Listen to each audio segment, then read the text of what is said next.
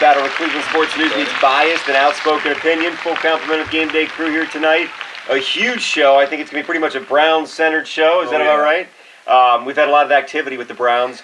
Uh, mainly, we have a new head coach, and that is uh, Rob Chudzinski. Are we giving him a little bit of love? Um, we can say it's not Pat Shurmur. It's not. Positive note.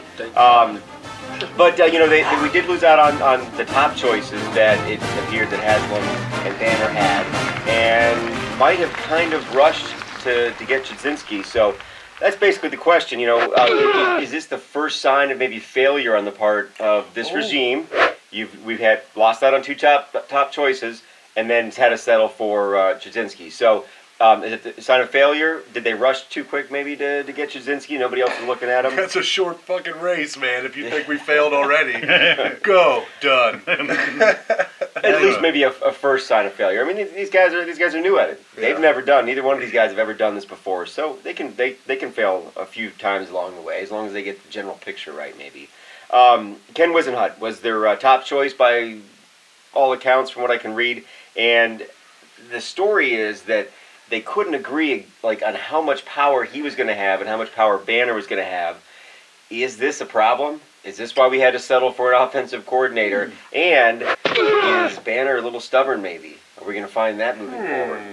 Also, um, they're looking possibly at Pagano, bringing him, uh, uh, John Pagano, bringing him from uh, from San Diego. He was the defensive coordinator for San Diego, and along with That that, could be good. along with that, Norv Turner is pretty much happening here, I believe, by the time this airs. Okay. yeah. He'll be locked in. So um, uh, we're basically like the Cleveland Chargers. Is that kind of what's happening here? And that's what Oh. Wants. And I that's have no why- problem with that. And now we're first energy First stadium. Energy That's power Chargers. Chargers. Even though it's Yeah. Cleveland Public Power that gives them their power, but Well it's done, though, pretty, Dale. pretty weird. Um, so okay, we we, that, we just talked about a lot of change, a lot of things that have happened. Um, new coach, new offensive coordinator, likely new defensive coordinator. Maybe a new, uniforms. New uniforms happening. Yeah, I have that picture out there They've, on they've Facebook. petitioned the league for that, and also we have a new stadium name. Is this enough of a fresh start for everybody? I mean, does this really wipe the slate clean, or is it still time for massive player turnover for you to feel like we have started from scratch with something new and something better? Um, and we've got to talk about the stadium name. Brown Stadium is no more. It is now First Energy Stadium. Have we lost some history? Was there history there to lose? And do you feel like like it's a bad thing, or does it even matter? So um, let's just just whip down the table here real quick. Ramon Torres, and uh, always sporting some Browns love. Uh, we have our resident hockey expert here. That is Brett Finnegan. Got the Barons going on Barons today. jersey. That's that's pretty badass. Actually, Yeah. I almost bought a Barons jersey. Got the ad, got the monster. Yeah, we're good. good stuff. Dale Three Chance days Tersey. away. What's up, guys? Wearing the Andy jersey while he's still on the team. Yeah, enjoy that now. I like it. I like It may not be much longer. Six Yeah. more months, maybe. Yeah. possibly. And I'm Mike Glass, and I think that we should just dive right into this coaching situation. Game Day Battle is brought to you by Bamboozles Restaurant and Lounge in Parma. They have the best drink specials anywhere. Seriously, buy one, get one free drinks. How often do you hear of it? You don't. They do it twice a week. Billy's mom makes the pasta sauce all the time, and the burgers, you simply won't find a better one. Check them out, bamboozles.com. Again, bamboozles.com. When you go there, tell them GDB sent you. There. Number one. All right, so um, we did, I say we as in a collective Cleveland, lost out on our owners, uh, the Brown, Browns owners' first choice and second choice. They then grabbed Rob Chudzinski, which um, we. Uh, Keep going. You're good. I was trying the Jedi mind trick on my beer. Oh, it worked. oh, it's working. There it comes. You have the power.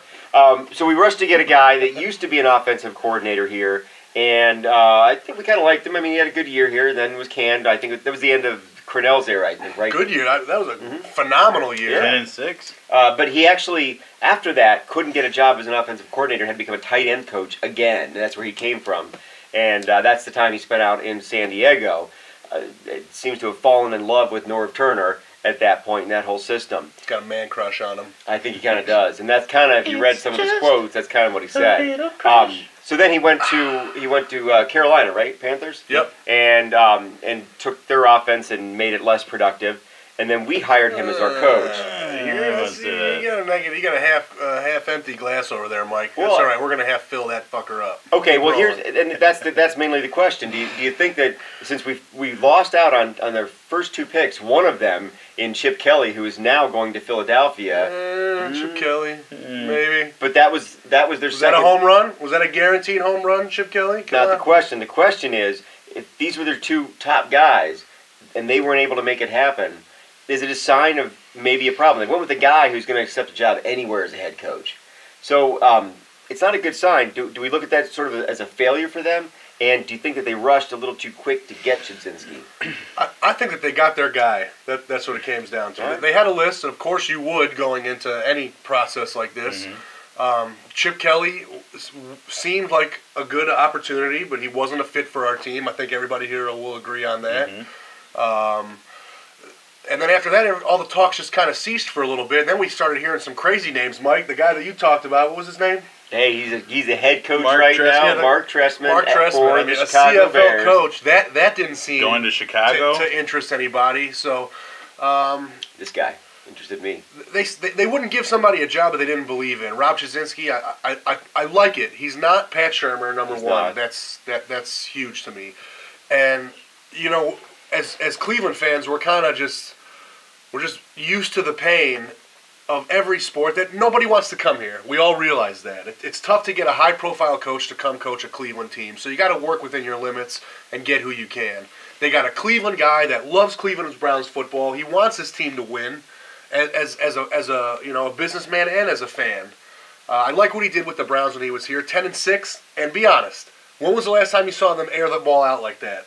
That was good stuff. It was. I mean, it's 17 touchdowns for Braylon Edwards and uh, a thousand yards for Winslow. Derek Anderson never looked better than he did that year. Um, let's not let's not dog him for what he did in Carolina. That that's a different offense. You have a mobile quarterback that can run. It's different than just airing the ball out all the time. But I'm on board because I'm a Cleveland Browns fan, and this is it. We got our new era. We got our new owner. We're gonna have a new stadium name, new uniforms. The old Browns are dead, and if you're a Browns fan, then you're on the train right now because you believe that the guy who took over ownership of this team wants to win, and he's not gonna put just some loser out there to, to be the first coach of his uh, future business, his his life story. You know what I mean? So. If, if they're comfortable with Rob Chudzinski, so am I, and I want to see what he can do, and I'm anxious to see what he can do with this team. And uh, you guys should be, you will, show, you all should be happy. Know, Seriously, I think he did, uh, we did get our guy, and um, I think they had a game plan from day one and who they wanted to get. Obviously, if you're meeting with uh, Chip Kelly for two days straight and nothing went down, you know obviously he wasn't coming here. Um, you should know right off the bat, you know, the guy you want. You're interviewing somebody, you should know the qualifications they have and know that fits your team. And this guy's been here twice, so obviously he knows, you know, what's going on in this organization, you know, and he he's from here, so he has love for the game and also for the you know for the team and everything that comes with this town. Well, and, and so I'm hearing from the two of you basically that losing out on the top two, which is part of the process, not a big deal, not really a loss for the regime, but just part of the process and kind of expected.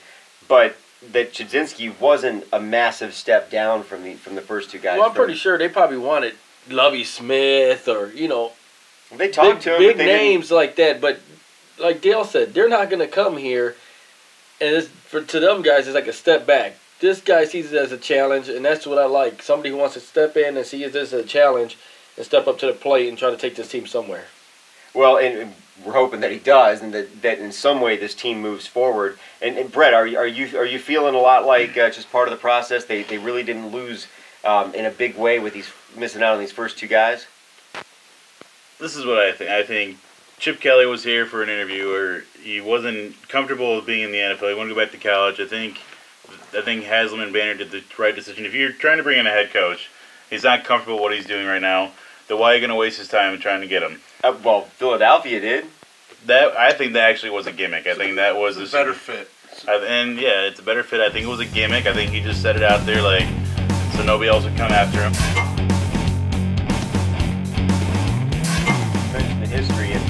Chudzinski actually worked with Kosar. Think Mhm. Kosar is going to get involved in the organization now? I hope so. I would love Kosar as a as like a quarterbacks coach type thing because he can read a defense like no other. Yes, he slurs words. Yeah, yes, he can't talk, but you know. He can't talk, but you know what? He picked defenses apart when he played because he can read them. He can read the three four, the four three, nickel, whatever you want him to do. And, you know, he knows the game too, and you want to have that around, especially with a young team. You want to have older, you know, alums that that can give advice to your new guys. And what better, what better, uh, you know, what better names than Bernie Kosar? And let's see Jim Brown get come Yeah, back around come the back. team and, and walk the sidelines like he used to. You know what I mean? That is Cleveland Browns football. And Randy Lerner didn't care, or yeah, Randy Lerner didn't care about any of that. Maybe Al did, but I mean, it's all known that Randy didn't want this team. So literally, let's that's been 15 years of, of garbage football of an owner that had no idea what the hell he was doing. Mm-hmm. And now we got a guy up there. Now it's a regime change from the top. You rarely get new own, new owners in sports. You get Right. new GMs and new mm-hmm. everybody in yada. Mm-hmm. It's always the same guy writing the checks. Now it's not. It's a different attitude. And I do not think that Jimmy Haslam, Jimmy Truckstop, spent a billion dollars on the Browns to, to, to watch these guys fail. This is this is their chance to put out their best foot their best foot forward. What's the product that they're going to be on the table? And it started with their head coach. And some people may not agree, but I think for the caliber of, of what we need and what it takes to be a Cleveland Browns coach, I think this is a great hire. You know, nobody, I, I think, can question the um, the desire for ha- from Haslam and, and Banner. The, the concern only is that Haslam's never done any of this, and Banner's never really done any of this. He's been kind of part of one Oh. coach, and that was Andy Reid, but they've never done any of this before. So you you have to wonder at least. While they probably believe very strongly in what they're doing, and these could be good decisions, is it possible that there could be other things getting in the way? You know, I mentioned uh, in, in the opening that uh, Ken Whisenhunt was was part of their their top two uh, selection. Uh, the two people that they wanted was uh, and and he was the one that they really were targeting. They couldn't come to terms with him on how much power he would have and how much power Banner would have. Now, that could all be in our favor. That could have all worked out for the best for us.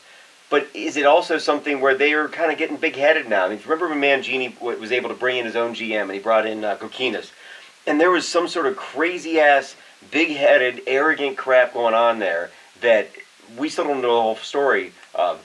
And there's nothing to stop these guys at this point. These two guys are, are in it together, and they really are probably feeling like whatever they do is right because it's what they want to do. They could be wrong on a lot of things. I think you really hit the nail on the head by saying, you know, the stuff, the people that we brought in before, and the way they're switching up now. I think with that Mangini stuff was just complete bullshit. We brought a guy in, we let him have all the power, and he took us nowhere. We gave this guy, yo, yeah, you can hire your own GM, you can hire, you know, your own offensive coordinator, your defensive, like all this power, and what it do got us nowhere.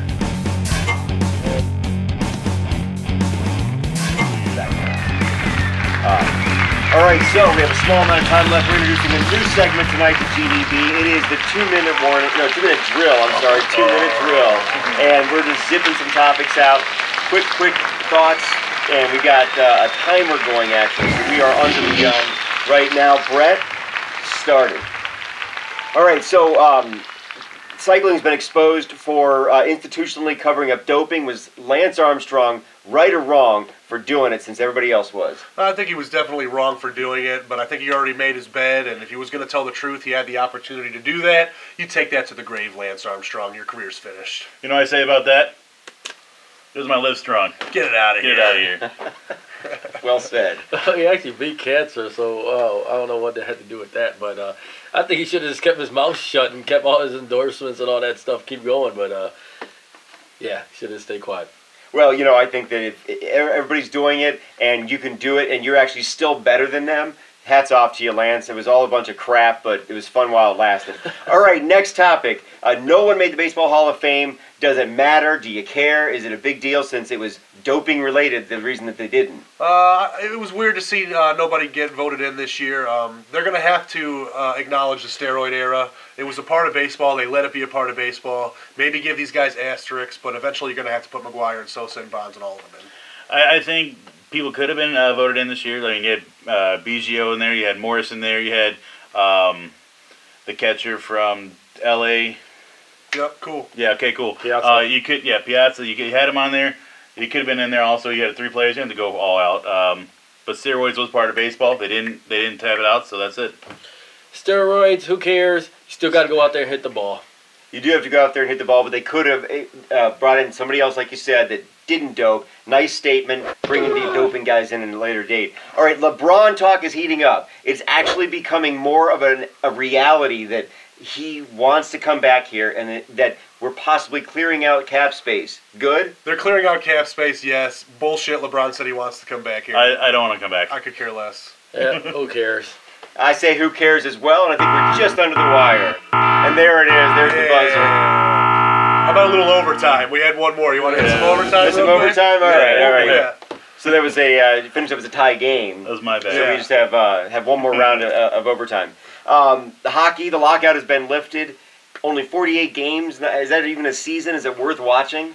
I mean, I, I think they should have just skipped it. I mean, I, you don't want to give somebody some cheap Stanley Cup win and let them be all happy that they won it and have LeBron. really not mean anything exactly Heat. like that, uh, like Yeah. that basketball championship that we saw. But I'll probably still watch some hockey. I'm in a fantasy hockey league, but uh, I, I'm I'm really waiting for uh, the Cleveland Monsters. So that's that's the ultimate. If you give us a hockey team, we deserve one. Um, it could have been a washout. It could be either way. I think they're trying to just save the season.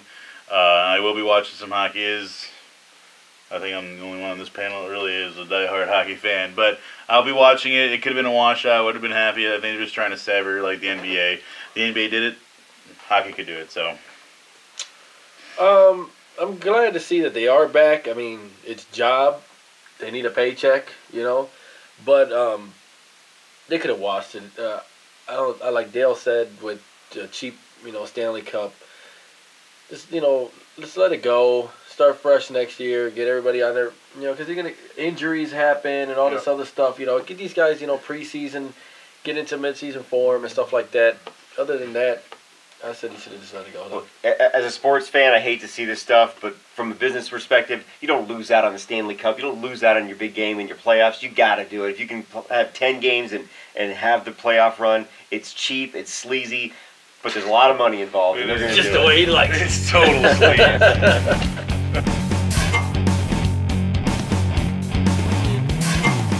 Somewhat. I don't think you know. one reason talking I feel about, that nobody needs an assault rifle in their house. Yeah, they do. Uh, yeah, you should. What? At a minimum. To protect yourself from the U.S. government. Yep. You'll need more than 30 rounds to fucking hold them off. Let me Yep. tell you that. That's why it's in the Constitution. It even says in there to protect the people from their government. Back then, they had little muskets with one ball. But everybody So, uh, did. Nowadays, the military's going to come with assault rifles to take you down. How come Barack Obama won't let armed guards at my kid's school, but his kids get to walk around with armed guards 24 7? Mm. Why is my kid's school a no, a no gun zone, but his kids get armed security 24 hours a day Either the everywhere they go? president's daughter the president No, it's gets bullshit. Service. It's bullshit. That means that guns are good enough to protect his family, but not good enough for me to protect mine. That's exactly what that means to me. Yeah, Sorry. right. It's a hypocrisy.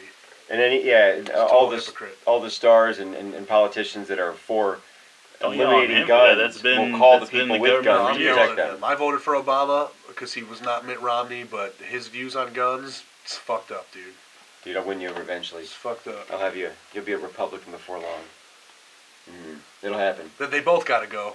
The whole system's fucked. Libertarian. There's even no. There's even people out there trying to break it up because all the time that's wasted from these people not being able to agree on anything. Hell that's yeah. why nothing Yeah. ever gets done. This is fucking shit up even more. And there's no way that you're 100% Democrat on issues, and there's no way that you're 100% Republican. Maybe you're pro, maybe you're pro-abortion, but you're you're anti-gun, or vice versa. You don't feel the same way about everything. And the only way that we're gonna progress as a nation is to fucking drop the red versus blue, the us versus them, and be on the same page, and let 30 people run for president, and let the people actually have a say so instead of the two puppets that they put up on the fucking pedestal and tell us which one we hate less. The it used to be, hey, it used to be that, that voting days were big drunk party days. Nowadays, people are like, eh, maybe I'll make it, maybe I won't. Yep. Maybe I just won't even show up. So we've got a small amount of time left, and just enough for the raising of the beer. It's our chance to sort of spout off, uh, as Dale so eloquently did, or uh, or praise somebody, or just uh, just talk about whatever we want to for a few minutes. And I think I'm going to start all the way at the end of the table, and that is Ramon Torres. Well, just to brush up on something that Dale said, which is true, is that uh, we do have gun rights here, and you know, guns don't kill people; people do, and it's by choice. You know, it's who you are as a person and the values you have. I think instilled in yourself that go make you go out and do stupid things. Um, as an avid, you know, person who who owns guns, who's been out there shooting and stuff like that, it's about how how you you live your daily life and you know you don't go back and look at a gun as a as something to hurt somebody with you know as a it, as a sport is what you look at it as to go out and have some fun you know something you can take your kids to do and teach them you know it is you know it's just a, people do things and it just fucks it up for everybody else that's what it comes down to you know and now the government's getting involved into it and now they're just trying to rid you of everything you know anything that has to do with them having less power is the shit they're trying to get rid of, you know? So that's all I got, and I think it's fucked up what they're trying to do. And so if you got guns, keep them and go buy some more before they take them all away. Well, I'll drink to that too, and I'll kind of roll that in uh, in a one my first of three, if you don't mind, there, Go Mike. for it. Go for it. Gun control is less about guns and more about control. i- i- Is is basically what it comes down to, and I understand the, the, the thought process of wanting to ban assault weapons, and you don't use them for deer hunting, and you don't need to stop a robber with an assault weapon. But the one thing that you do need is what a lot of people just fail to, to realize, and, and that is why the Second Amendment is in our Constitution to begin with, and that is to protect yourself from your government. Because government gets corrupt. They knew it in the 1700s, they know it now. That's why they put the provision in there. Because absolute power corrupts, uh, or power corrupts, and absolute power corrupts absolutely.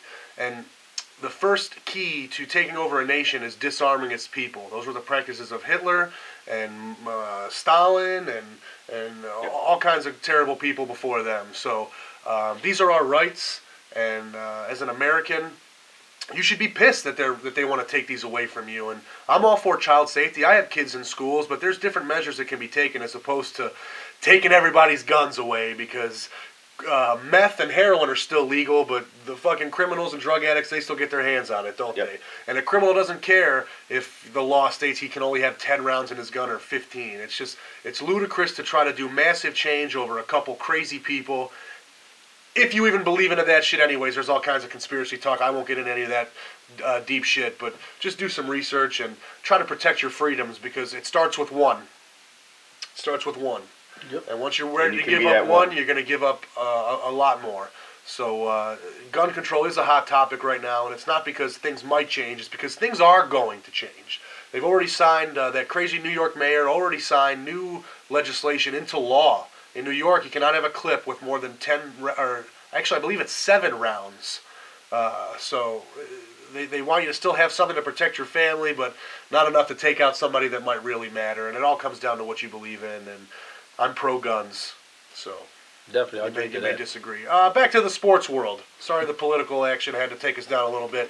I want to raise my beer to Peyton Manning. A great story, him sticking around after that tough loss to Baltimore after Ray Lewis did all his interviews to, to personally congratulate him and his family waited after, and I just think that's a great story and uh, you know, true professionals out there, two future Hall of Famers, uh, even though he lost, still ready to, to you know, show some pride and, and uh, congratulate Ray. Uh, also, Atlanta Falcons, first playoff win in a very long time for them. That was a great game.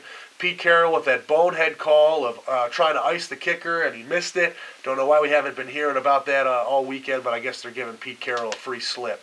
But uh, the playoffs are very exciting this year, and I'm looking forward to uh, some national or some division championships here and a fantastic Super Bowl. So to playoff football. Hell yeah, hell yeah. We'll do that. Mr. Finnegan.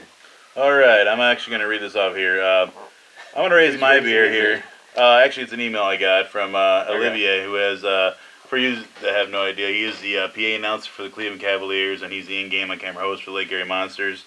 Uh, he's actually going to be doing, uh, they call the Cupid's Nation Undies Run. This is pretty weird, but they're actually going to raise money. And uh, in February, they're going to run around Tremont to raise uh, money for neurofibromatosis um, for like uh, Nicole right here. It's a little description. She's a seven-year-old um, kid who loves dolls and Mickey Mouse stuff like that.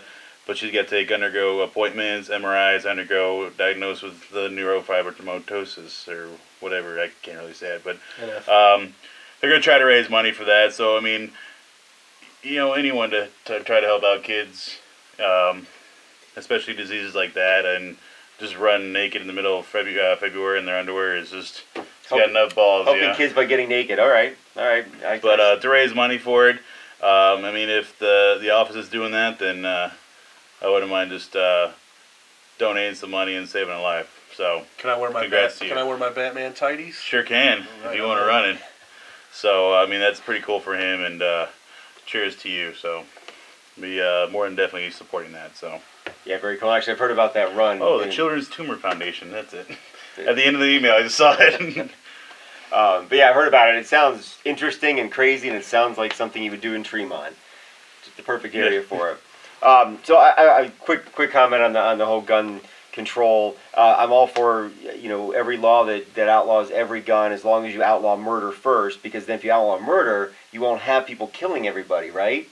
Um, but it's already it's already against the law, and people still kill people. So, and you already kind of mentioned that with drugs are against the law, and it's obviously not laws. Laws only only work on people who obey laws. People who obey laws don't kill people and they don't shoot up schools. So, not a single gun law ever passed will ever, ever, ever, ever stop anybody from killing anybody that wants to kill them with a gun. And the only way you can do that is with the secret police, and I'd rather not im- im- implement that. So, um, every gun law is pretty dumb. So, back to more, back to the fun, back Yep, to yep, yep. uh, back to sports. Um, Dale, you kind of stole my fun- thunder a little bit, but I want to specifically raise my beer to Matt Ryan. They call him Matty Ice. I don't get into all that crap, but because obviously he hasn't been Matty Ice many times. But he finally came through. He had that, that, that monkey on his back where everybody in the sports world likes to like take a few things that have happened and then make some construct some sort of big undeniable truth. Like he can't win he can't win the playoff game. He can't Yeah. move forward. Three times he was there, three times he couldn't. Now the fourth time he has, and now nobody will ever talk about the first three. And that's why as any really in life in general, but especially as an athlete, you can't listen to anybody that says you can't do something. You just do it. You just keep doing it. You keep pushing. You get to the playoffs. Once you are in the playoffs, anything can happen. Fourth time he's in there, they actually have a really good shot of, of, of moving forward now, given what they've got to face going up. So hats off for uh, for keeping your cool and being the Matty Ice that everybody sort of built you up to be. So pretty cool. And on that note, this has been a, this has been a blast. And, uh, Dale liked the, the two minute drill segment. Dale's idea, is pretty cool. And I am looking forward to next week. Awesome. This is a winner right Oh, here. you know let's, let's, let's all raise It's our a- beers to to, the, Ramon here. to Ramon. Yeah. Oh, Well, yeah, Ramon's the only one with an active Yeah. bracket. bracket. I Active tell you last week, who watched this show, listen to me, I'll take your place. And what were you gonna say? Uh, I think we should all drink some new machine. How about that, guys? There you go. Oh, yeah, You know, absolutely. Time, get fucked up. And see some Browns win some games. Yeah. Four and twelve Brown season? Nope. Ain't nobody got time for that. Nope. Eight and eight. I'm going down to First Energy Field to watch the games. I went down to Cleveland Browns Stadium for losses. I'm going to First Energy Stadium. Is that what it is, or Field? First Energy Field, The powered by The. Cleveland Public Power. First Energy Field at Brown, at Brown Stadium. I like it. It's free money. Take it. But wait, so you're saying that it's actually a different power company Yeah. that powers it? Yeah. Yeah. doing. So I just put that together. I understood what you said before, but now, yeah. Now it hits you. now it hits you. Nice. That's pretty The dumb. feet. yeah. The feet That's- don't do it. That's that's pretty funny actually. First Energy Field at Cleveland Brown Stadium. Give me truck stop. Go Browns 420 at yahoo.com. Ain't that what? Uh, ain't that what?